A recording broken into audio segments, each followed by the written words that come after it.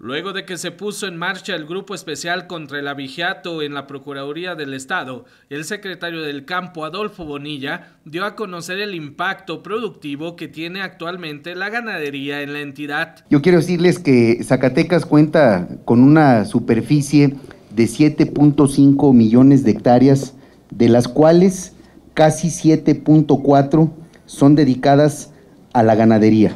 y en el Registro Nacional eh, Agropecuario se encuentran eh, registradas más de 45 mil unidades de producción pecuaria en el estado de Zacatecas, solamente de criadores de ganado bovino, lo que demuestra eh, la importancia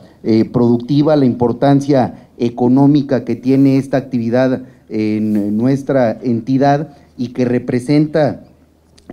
aproximadamente 4.800 millones de pesos anuales. El titular de la Secretaría del Campo recordó que a partir del primero de febrero todas las cabezas de ganado tendrán que contar con su identificación, de lo contrario provocarán la sospecha de que se incurrió en el abigeato. A partir del próximo primero de febrero será obligatorio en todo el territorio nacional el contar con el areteo siniga, que es un método de rastreabilidad o de trazabilidad, pero eh, esto va a ayudar de, de manera directa, ni siquiera indirecta, porque ya cualquier cabeza de ganado que se mueva por el Estado o que se mueva por el país y que no cuente con esta identificación, hará la sospecha de que quien esté trasladando el ganado, incluso de un lugar de engorda a un agostadero, puede ser sospechoso de abigeato. No se podrá comprar ni vender ganado que no esté identificado con el arete siniga y tampoco podrá haber sacrificio en los rastros